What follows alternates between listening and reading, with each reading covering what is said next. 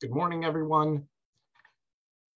On this wonderful Sunday morning, the 11th of Tammuz, July 10th, we are starting a new Parsha.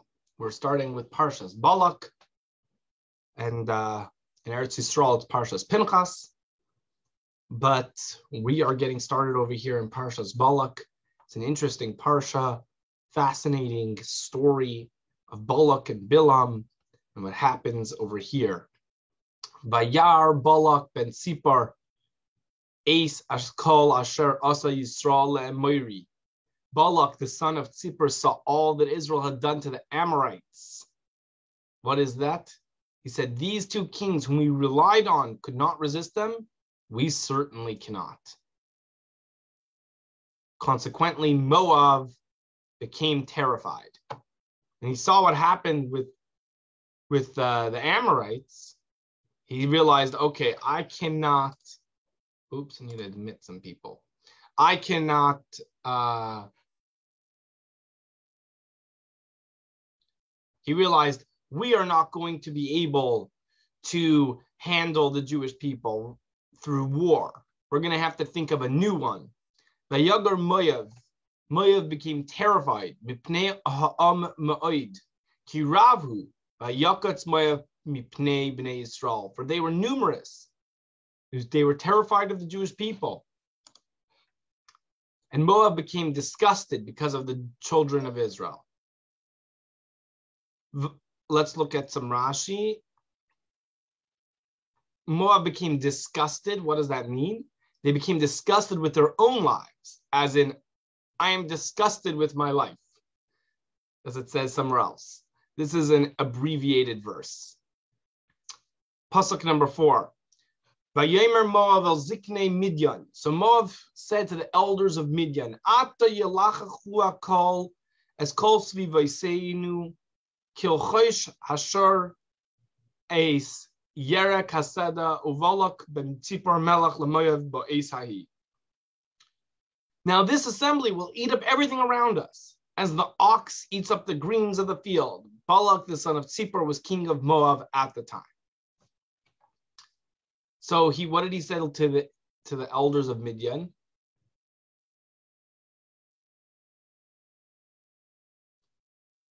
It's interesting. Where Mo, Rashi's is is addressing the fact of were Midian and Moab were they allies? What what were they? But they but did they not always hate each other? As it says, who defeated Midian in the field of Moab? So when Midian came against Moab in battle, when Midian came uh, when Midian came against Moab in battle, so it seems like they were enemies. Why over here does it seem like they're plotting together? However, because of their mutual fear, fear of Israel, they made peace with each other. And what did Moab see to take counsel, counsel with Midian? Since they saw that Israel was supernaturally victorious, right? We had last time last week's parsha about the mountains moving. They said the leader of these people was raised in Midian. Let us ask them what his character is. Moshe, right? After escaping Egypt, he lived in Midian for many years. So let's ask them, maybe they know how to deal with this guy. They told them his strength is solely in his mouth. They said, We too will come against them with a man whose strength is in his mouth. And that's why they decided to go the route of Bilam. Like an ox eats the greenery, Whatever the ox has eaten up no longer contains blessing because the ox uproots the plants it eats. It doesn't just eat the top grass, it eats it to its core. But Esahi, at that time, he was not entitled to the monarchy. He was one of the Midianite nobles. What does it mean he was at that? The Pasuk says Balak, the son of Tzipor, was king of Moab at that time. Actually, he wasn't supposed to. According to some of the according to some, I'm not sure, according to some of the nobles of Sihon, when Sihon died, they appointed him over them on a temporary basis. Uh-huh. Okay. So Balak actually wasn't supposed to be the king at the time, but that's why so that's why the pasuk says Balak, the son of Tzipor, was king of Moab at that time, but he wasn't necessarily supposed to be king uh, by by right. Pasuk number five. Let's continue. So what did he do? Vayishlach malachim el Bilam ben Ba'ar.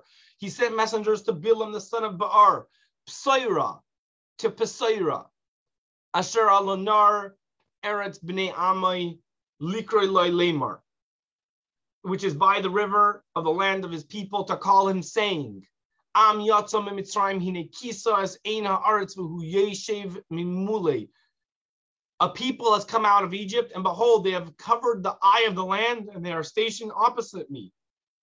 To Pisar, Rashi says, what does it mean? It says Bilam, the son of Ba'ar, to Pisar. Pisar was actually also a hint at the fact that he was a money changer, somebody who, you know, dealings get taken place. Because in Aramaic, Psaira means a table denoting the counter over which currency transactions take place. You pay him enough, He'll take care of you. He was a man of money. Eretz b'nei, that was the, his language. Eretz b'nei Amai, the land of his people, Balak's people. He came from there. Uh, this one, uh, Bilam prophesies, telling him, You are destined to rule. If you ask, why did God bestow his Shekhinah on a wicked Gentile? The answer is so the nation should not have an excuse to say, had we, ha- had we had prophets, we would have repented. So he assigned them prophets, but they preached the, uh, the morally accepted barrier for at first they had restrained, they had refrained from immoral, immorality. But he, Bilam, advised them to offer themselves freely for prostitution. So the reason why the, the land of his people. Why was there a, a, a prophet in the non in the Gentiles just as great as at the Jewish people, so that they shouldn't say, had they had a prophet, we would have, they would, the, the non-Jews would say, if we also had a prophet, we would have repented. No, you did have a prophet, and that prophet failed you. Likroilite, to call to him. This invitation was for him, for his benefit, for he promised him a large sum of money. A people has come out of Egypt, and should you ask, how does this have anything to do with you? How does this harm you that a people came out of Egypt? So then comes the next part of the pasuk. Hine kise as as aretz. Behold, they have covered the eye of the land. Sichon and Og, who were our guardians, they attacked them and killed them. And they are stationed opposite me. That's self-evident. They're next to me. Pasuk number six. So now please come and curse this people for me. For they are too powerful. Ki atzamhu mi many, they are too powerful for me. Perhaps I will be able to wage war against them. You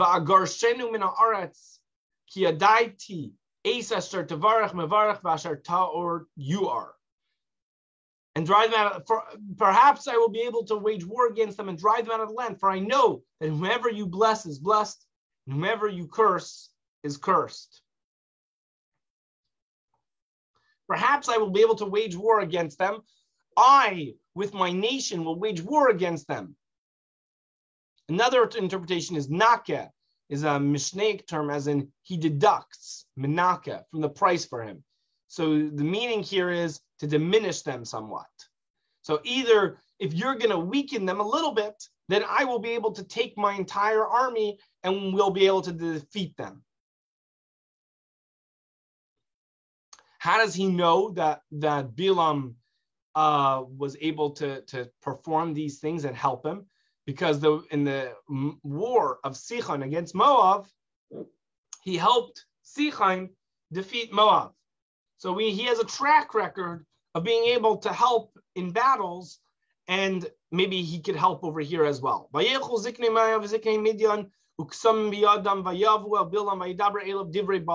So the elders of Moab and the elders of Midian, uh, you know, a whole delegation uh, went with magic charms in their hands, and they came to to Bilam and conveyed and conveyed Balak's message to him.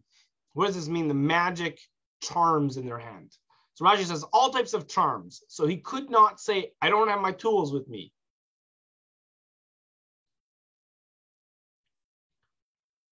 Another interpretation the elders of Midian took this omen with them, saying, If he comes with us this time, there's something to him, but if he pushes us off, he is useless.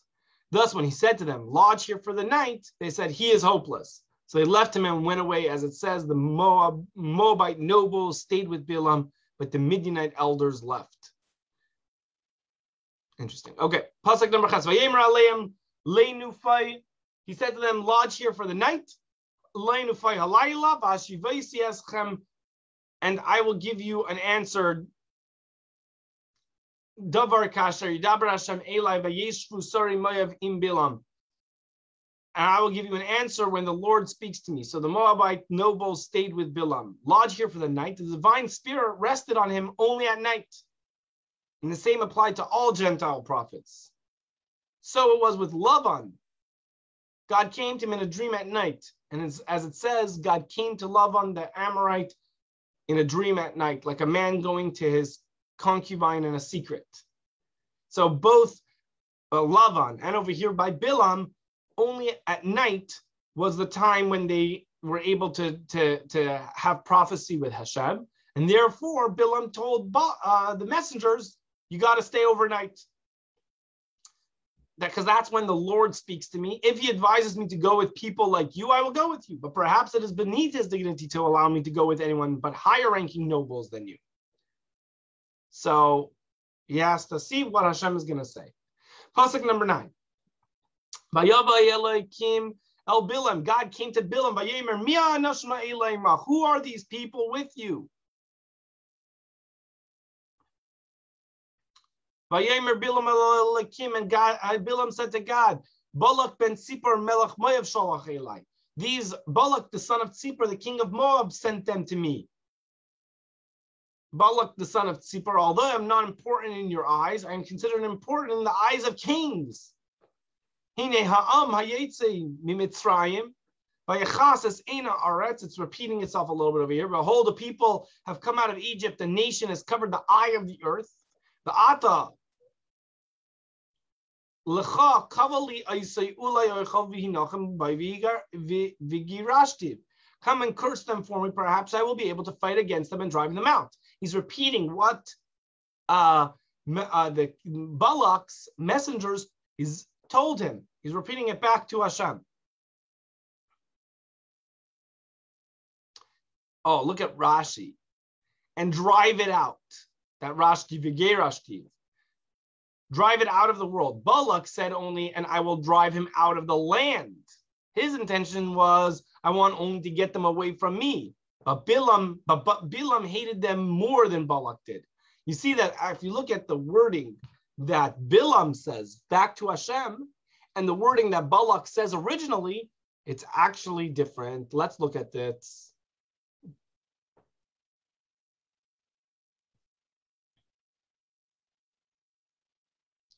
Let's look at the difference over here.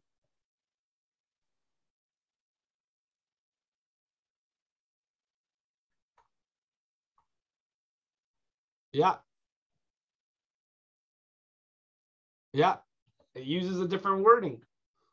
Over here, Bilam goes even further and he wants to uh, not just drive them out of this land, he wants to drive them, period. He wants to get rid of them, period.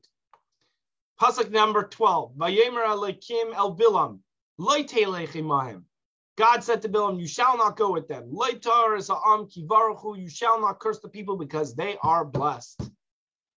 You shall not go with them. He said to him, If so, I will curse them in my place.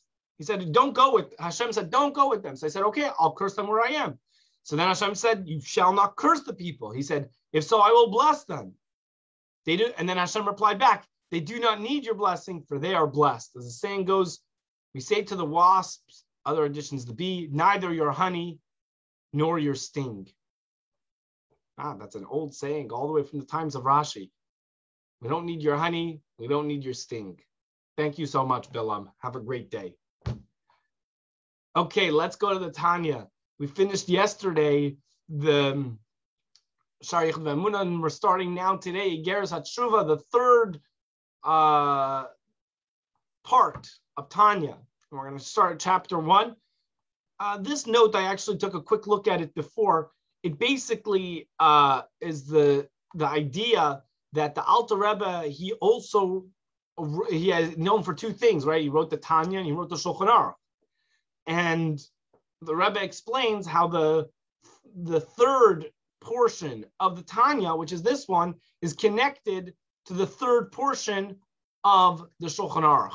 They're connected. The, the each each uh, part of the the first of the Tanya and the first of the uh, Shulchan Aruch and the first of the uh, the second and the third of the Tanya and all of that, the Tanya and the Shulchan Aruch are connected to each other. You could read that note to elaborate on how that is. Let's start. Likutei Amarim, compilation of teachings, Chelik Shlishi, part three, Hanikra B'Shem, entitled Igeris Hatshuva. Igeris is like the the the writing, the the the compilation about tshuva. Tanya b'seif Yoma have been taught in the brisa at the end of Yoma.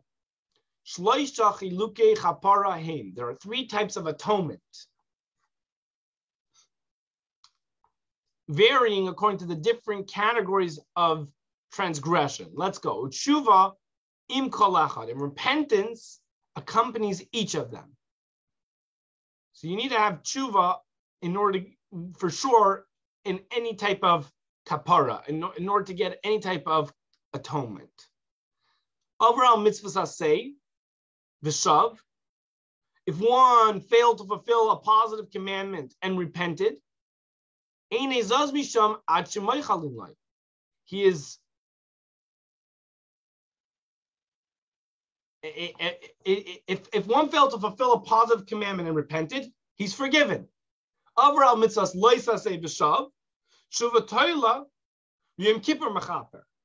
If one violated a prohibitive commandment, like don't do this, then and he repented, his repentance is tentative.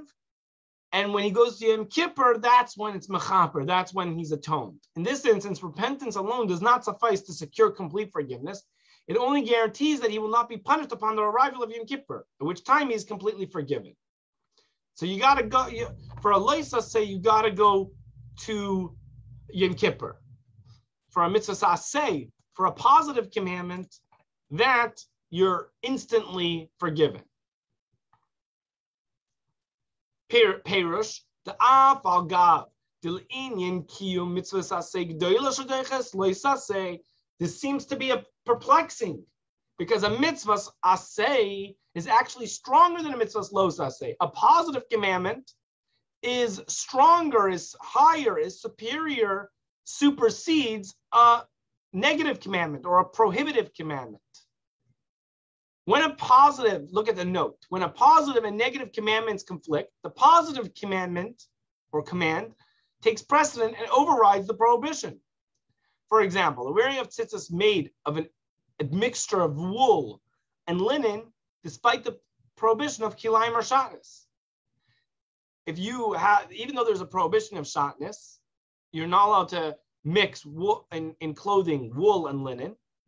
For tzitzis, it would be okay because the mitzvah of tzitzis overrides it. Since observing a positive a commandment, welcome. Since observing a positive commandment thus appears to be of more value than observing a prohibition, why do we say that if you transgress a positive commandment, you could right away be atoned? You have to repent, but you right away your repenting is atoned. But but for a negative commandment, which seems to be lower, you have to atone, you have to repent, and then atonement is only on Yom Kippur. The Alter Rebbe will now address himself to this question. His answer will also enable us to understand the spiritual effects of performance of a positive mitzvah and the spiritual blemish that results from transgressing a negative commandment. Insight into the mitzvahs from this perspective will in turn enable us to understand why a positive command supersedes a negative command, and why it is nevertheless more difficult to atone for transgressing a negative command. So, so this dichotomy, the fact that first of all, who, why is a positive commandment superior? That will also be understood. And why, when you transgress a negative commandment, it it is harder than transgressing a positive commandment. Briefly, the answer follow, the answer is as follows. Should we take a sneak peek in the answer before we, uh, we learn it inside? When one performs a positive commandment, he not only fulfills God's will, but also draws down a flow of divine light into the higher spiritual realms upon and upon his own soul. The reason each positive commandment is likened to a bodily organ, right? There's 248 organs corresponding to the 248 positive commandments. This means to say that just as a bodily organ is a, recept- is, is a receptacle for the life force which it elicits from the soul, so too is each positive commandment a vessel that draws down divine influence and vitality from the infinite inside. Let's let's learn it. So let's learn it inside. Let's learn it inside. Hainu mishum shayidei kiu mitzvus asay.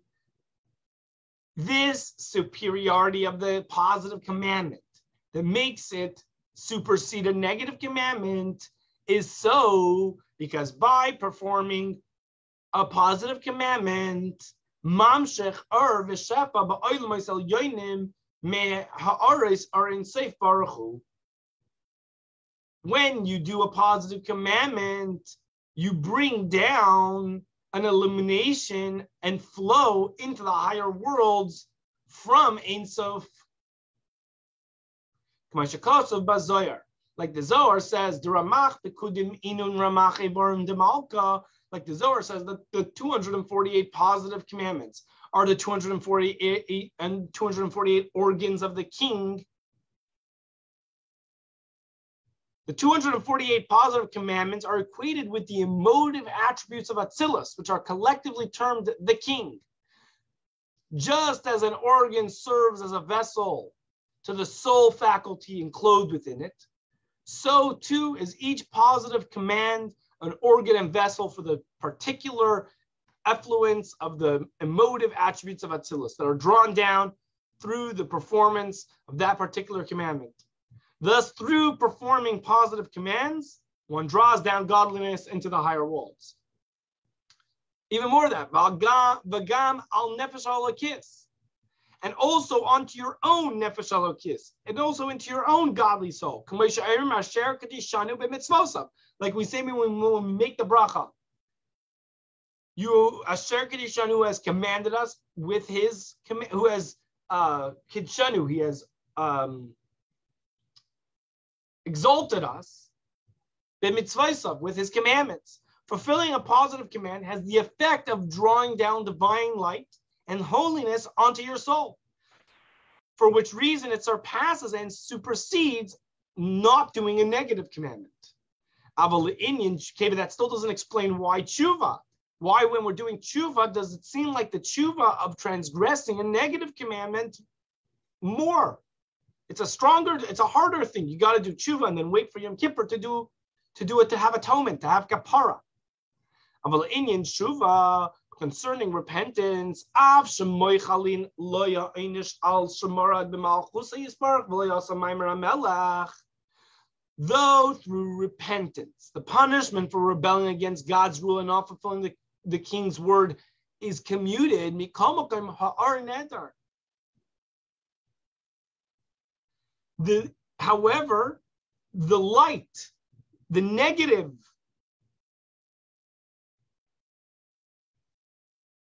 the fact that that no light from the positive commandment has come down, that is lacking. Meaning, you did a sin, right? In the case, when, when we're talking about which one is greater in the positive sense, then bringing light down from the mitzvah is higher than not than not doing anything, than not doing a negative thing. But when we're talking about repentance, The very fact that you did a sin doesn't rectify the fact that you didn't bring down any light. In other words, that is still lacking. Whether or not you've repented for the sin, you still have not rectified the fact that no light was brought down. Like the like the like the rabbi said on a pasuk, a crookedness that cannot be corrected. Even though repentance, our sages commented, Zeh shebitel kriya shal me'ata likris ein mashavito.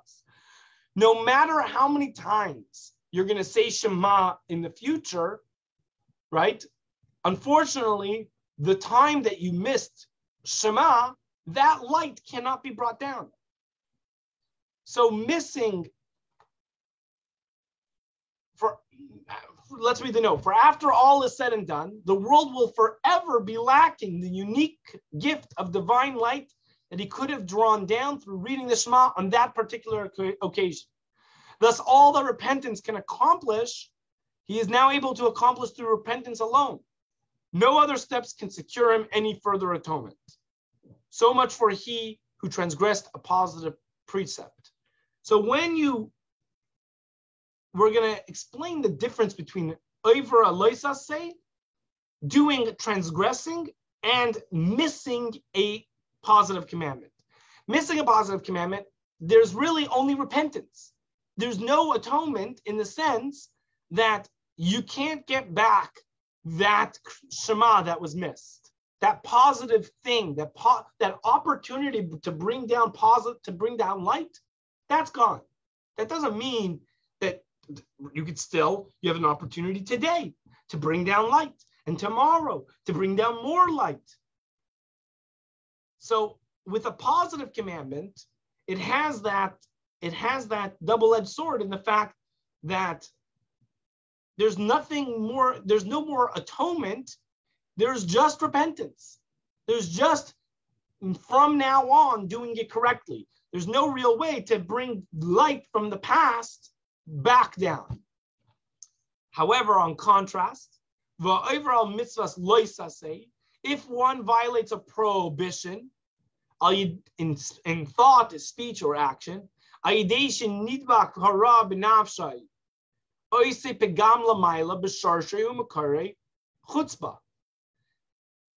since evil now cleaves to his soul, remember, we're talking in absolute terms. Nobody does, everybody misses some mitzvah saseh. And everybody does, goes against some mitzvahs lo saseh, some negative prohibition commandments.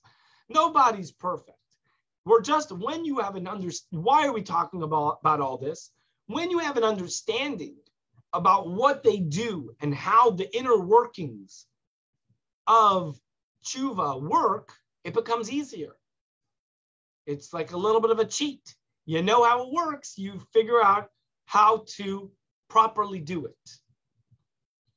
So going back to the Tanya, so if say somebody who violates a prohibition, now he has a, like a, a, stain, let's call it that, right? A little blemish. Um, this is just a bracket. In the garbs of the ten spheres of asiya. Levushim tikinas line minayu parchin yishmasan levnei nasa.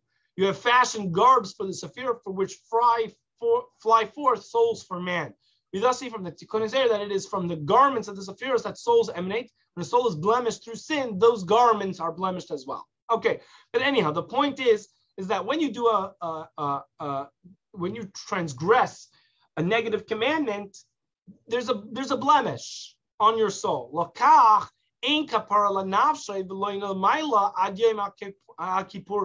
Therefore, there is no atonement for his own soul nor above until Yom Kippur. As will be explained a little later, atonement means cleansing that which was blemished. This requires not only repentance, but in addition, Yom Kippur. So you, for a negative commandment, we're not, we don't want to just refrain from now on not doing the Avera. We also want to wash out that blemish. By the mitzvah say, by the positive commandment, that's it. You can't go back and say Shema from two days ago. Two days ago, Shema is gone. That light cannot be brought down again. Now, no, you have to now focus on the future. For the blemish, when you for so not just you not want so if you're not of course the first part is repentance not doing that thing anymore. The second part is you can actually scrub out what took place.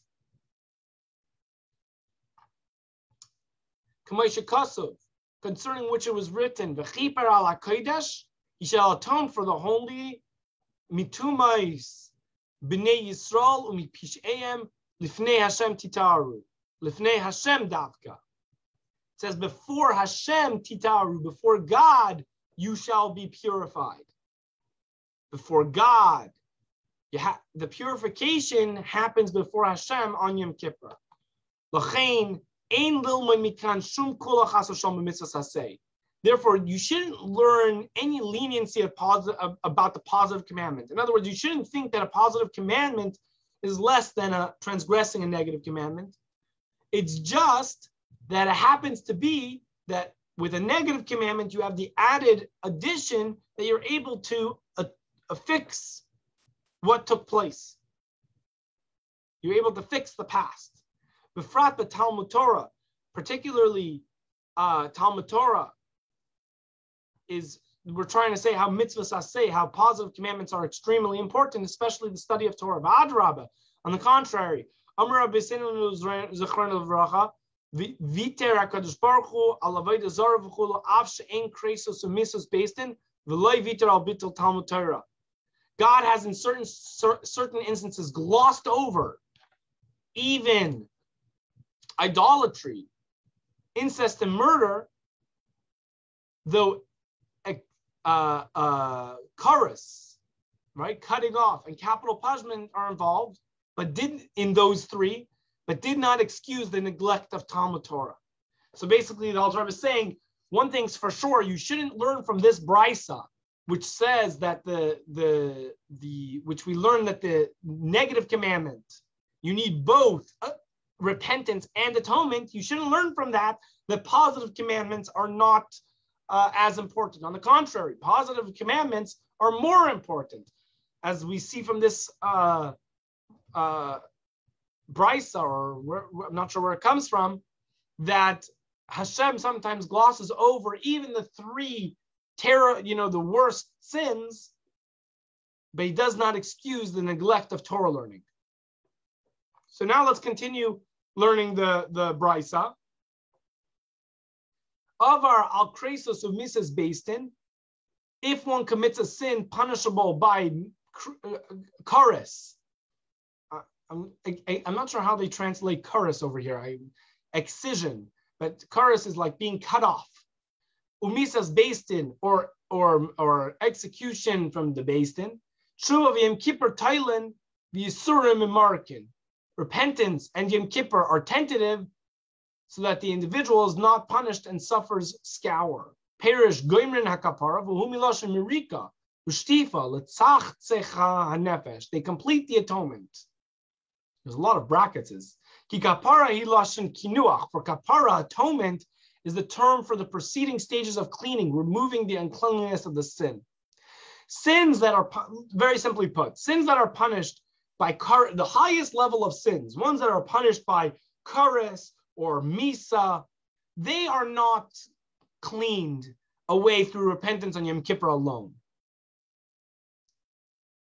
There has to be something stronger. There has to be a greater suffering, unfortunately. And that's why those ones, they need, God forbid, either chorus or misa or misa or, or death. Those are ones that are are those are uh, repentances that are not able to Yom Kippur cannot do. As is written, with a rod shall I remember their sin when affl- with afflictions their iniquity.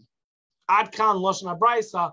Thus far, the brisa, that's the whole brisa. But the, the beginning of the brisa was a big focus, and this was the brisa in Yoma that said that oiver al mitzvahs ase, that when you are transgressing a positive commandment, repentance is enough. But when you are uh, going against a negative commandment, you need repentance and Yom Kippur.